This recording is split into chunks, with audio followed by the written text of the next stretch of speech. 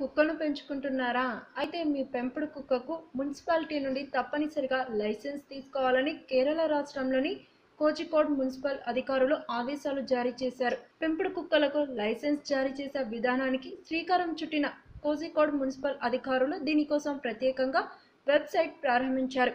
కుక్కలకు లైసెన్స్ తీసుకోవడానికి దరఖాస్తులు చేసుకోవాలని మున్సిపాలిటీ ప్రకటించడంతో ఇప్పటికే ఐదు వేల మంది పెంపుడు కుక్కల యజమానులు దరఖాస్తులు సమర్పించారు.